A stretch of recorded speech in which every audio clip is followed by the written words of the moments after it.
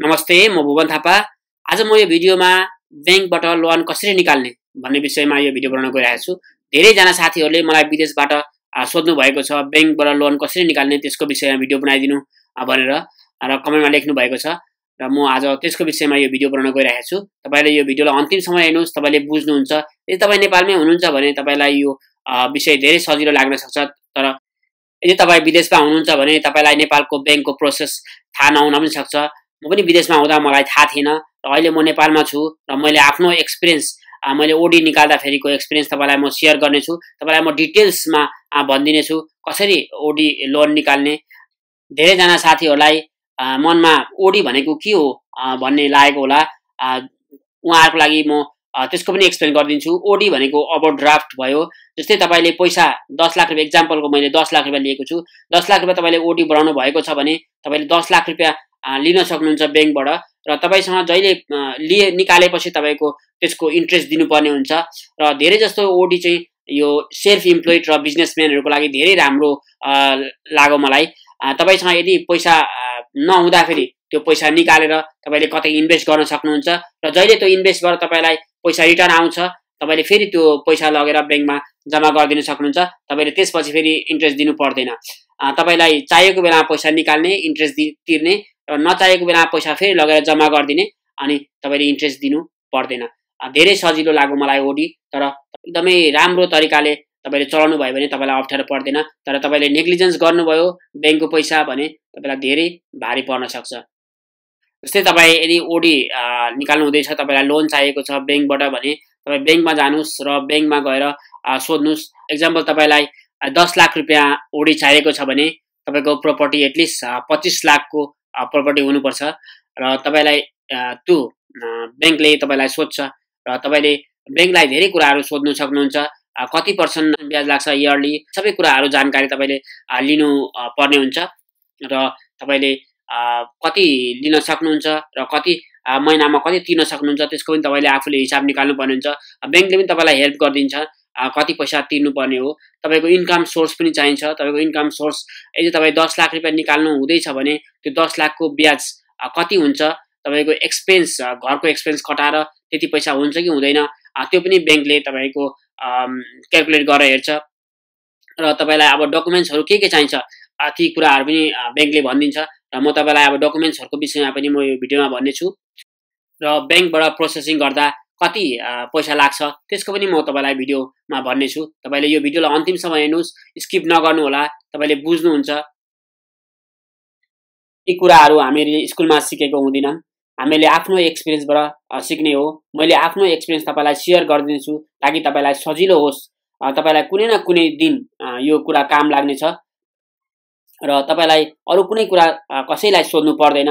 सोध्नु परिहाल्यो भने पनि तपाईँले सम्बन्धित यदि लोन लिनु हुँदैछ भने ब्याङ्कको मान्छेलाई मात्रै सोध्नुहोस्। तपाईँलाई सजिलो हुन्छ। यदि तपाईँले सबैलाई सोध्नु थाल्नुभयो भने तपाईँलाई धेरै अप्ठ्यारो हुन्छ र तपाईँको प्रोसेस लम्बिन सक्छ। यदि तपाईँ मेरो च्यानल नयाँ हुनुहुन्छ र यस्तै यस्तै भिडियोहरू हेर्न चाहनुहुन्छ भने मेरो च्यानललाई सब्सक्राइब गर्नुहोस् र बेललाई क्लिक गरिदिनुहोस्। अहिलेसम्म मैले वान हन्ड्रेड फिफ्टी एटवटा भिडियो बनाएर अपलोड गरिसकेको छु। सस्तो घर घडेरी खेतको भिडियोहरू त्यो सबै भिडियोहरू हेर्नु होला यदि तपाईँलाई कुनै घर घडेरी मन पर्यो भने कमेन्टमा लेख्नुहोस् म तपाईँलाई फोन नम्बर दिनेछु र तपाईँले त्यो घर घडेरी किन्न सक्नुहुनेछ। अब भिडियोको विषयतर्फ लाग्छु। डकुमेन्ट्सहरू यदि तपाईँसँग जग्गा छ घ घडेरी छ घर छ या खेत छ त्यो त्यो जग्गा राखेर लोन लिन चाहनुहुन्छ भने तपाईँले जग्गाको पूर्जा यदि घर छ भने घर सम्पन्नको प्रमाणपत्र नक्सा नक्सामा ब्लुप्रिन्ट नक्सा ट्रेस नक्सा र ओडा नक्सा चाहिन्छ। नक्सा कसरी निकाल्ने त्यसको विषयमा म भनिदिनेछु। नक्सा निकाल्नको लागि पूर्जा लिएर किता नम्बर दिएपछि नापीबाट निकाल्न सकिन्छ र ट्रेक्स नक्साको लागि ब्याङ्कले नै चिठी पठाउनु पर्ने हुन्छ र नापीबाट ट्रेस नक्सा निस्किन्छ। र चार किल्ला बनाउनु पर्छ चार किल्ला कसरी बनाउने त्यसको भिडियो मैले बनाएर अपलोड गरिसकेको छु। त्यो भिडियो हेर्नु होला तपाईँले चार किल्ला बनाउन सक्नुहुनेछ। र तिरो तिरेको रिसिप्ट तपाईँले कर तिर्नुपर्ने हुन्छ तपाईँको जग्गाको या घरको जुन जग्गा तपाईँले राखेर ब्याङ्कबाट लोन निकाल्न खोजिराख्नु भएको छ त्यो जग्गाको तपाईँले कर तिर्नुपर्ने हुन्छ। र नागरिकता तपाईँको नागरिकता र फोटो चाहिन्छ। ती सबै डकुमेन्ट्सहरू तपाईँले ब्याङ्कलाई बुझाउनु पर्ने हुन्छ। र ती डकुमेन्ट्सहरू बुझाइसकेपछि ब्याङ्कबाट भेलिडेटर आउँछ। र भेलिडेटरले तपाईँको प्रोपर्टी जस्तै तपाईँले कुन प्रोपर्टी राख्नुभएको छ त्यसको त्यो भेलिडेटरले भेलुएसन गरेर कति त्यसको एमाउन्ट निस्किन्छ त्यस त्यो एमाउन्टको तपाईँलाई फोर्टी पर्सेन्ट लोन ब्याङ्कले एप्रुभ गर्न सक्छ। यदि तपाईँको लोन एप्रुभ भयो भने तपाईँले आफ्नो इन्कम सोर्स देखाउनु पर्ने हुन्छ। र इन्कम सोर्स त्यो इन्कम सोर्स मैले अघि पनि भनिहालेको छु तपाईँले कति पैसा निकाल्नु हुँदैछ त्यो पैसाको ब्याज तिर्न सक्ने तपाईँको इन्कम सोर्स हुनुपर्ने हुन्छ। यदि तपाईँ दस लाख रुपियाँ ओडी निकाल्नु हुँदैछ भने तपाईँले मन्थली एटलिस्ट फोर्टी थाउजन्ड लगभग तपाईँले कमाउनु पर्ने हुन्छ। तपाईँको घरको एक्सपेन्स कति छ? र तपाईँले त्यो दस लाख इक्जाम्पल मैले लिइरहेको छु। दस लाखको ब्याज यदि तपाईँको फोर्टिन पर्सेन्ट इयरली ब्याज भयो भने तपाईँको महिनाको लगभग बाह्र हजार ब्याज हुन्छ। त्यो त्यो ब्याज तिर्ने पैसा तपाईँको इन्कम सोर्सबाट निक्लिनु पर्ने हुन्छ। यदि तपाईँको इन्कम सोर्सले त्यति पैसा पुगेन भने तपाईँले आफ्नो फ्यामिली आफ्नो वाइफको पनि इन्कम सोर्स त्यहाँ एड गर्न सक्नुहुन्छ। यदि तपाईँको घर छ र भाडा लगाउनु भएको छ भने त्यो भाडाको पनि तपाईँले कागज बनाएर पेस गर्न सक्नुहुन्छ र तपाईँ यदि जब गर्नुहुन्छ भने तपाईँको सेलरी सर्टिफिकेट तपाईँको वाइफ जबले जब गर्नुहुन्छ भने उहाँको पनि सेलरी सर्टिफिकेट तपाईँले पेस गरेर इन्कम सोर्स देखाउन सक्नुहुन्छ। र तपाईँको सबै डकुमेन्ट्सहरू क्लियर भइसकेपछि अनि ब्याङ्कले फेरि तपाईँलाई जग्गा रोक्काको लागि मालपोतमा बोलाउँछ र मालपोतमा लेखापढीमा गएर तपाईँले त्यो लेखापढीमा दृष्टिबन्धकको कागज सही गरेर अनि ब्याङ्कको मान्छे र जसको नाममा जग्गा छ दुवैजनालाई अहिलेको नयाँ सिस्टम कम्प्युटराइज सिस्टम छ र कम्प्युटरले फोटो खिचेर अनि त्यसपछि तपाईँको जग्गा रोक्का हुन्छ। जहिले तपाईँको जग्गा रोक्का हुन्छ तपाईँले सबै कागजहरू लगेर फेरि ब्याङ्कलाई बुझाउनु पर्ने हुन्छ। अनि तपाईँलाई ब्याङ्कले एकाउन्ट खोल्न लगाउँछ र एकाउन्ट खोलिसकेपछि ब्याङ्कले पैसा ट्रान्सफर गरिदिन्छ। यसरी तपाईँले ब्याङ्कबाट ओडी निकाल्न सक्नुहुन्छ र ओडीको इन्ट्रेस्ट बुझाउने त्यसको डेट पनि तपाईँले थाहा पाउनुपर्ने हुन्छ र तपाईँले सकेसम्म एक दिन अगाडि नै त्यो डेटभन्दा एक दिन अगाडि नै बुझाइदिँदा धेरै राम्रो हुन्छ। तपाईँलाई कुनै फाइन लाग्दैन। ओडीको इन्ट्रेस्ट बुझाउँदा ब्याङ्कको क्वार्टरली बेसिसको हिसाबले बुझाउनु पर्छ। असार मसान्त असोज मसान्त पुस मसान्त र चैत मसान्तमा बुझाउनु पर्ने हुन्छ। र कहिले पनि तपाईँले ब्याङ्कबाट लोन लिँदाखेरि तपाईँले सही टाइममा तपाईँले इन्ट्रेस्ट दिनुभयो भने सही टाइममा तपाईँले पेमेन्ट गर्नुभयो भने तपाईँले राम्ररी ब्याङ्कको कारोबार अगाडि बढाउन सक्नुहुन्छ। तपाईँले यदि ढिलो गर्नुभयो र नेग्लिजेन्स गर्नुभयो भने तपाईँलाई ब्याङ्कको लोन धेरै धेरै नै भारी पर्न जान्छ। आउने दिनमा अरू भिडियो मैले होम लोन र अरू लोनहरूको विषयमा पनि म भिडियो बनाएर अपलोड गर्नेछु।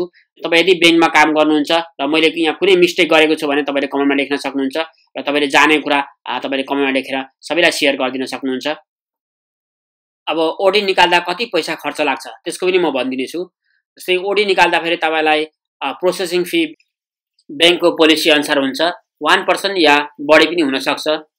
र तपाईँले यदि घर राख्नु हुँदैछ भने तपाईँले घर पनि इन्सुरेन्स गराउनु पर्ने हुन्छ।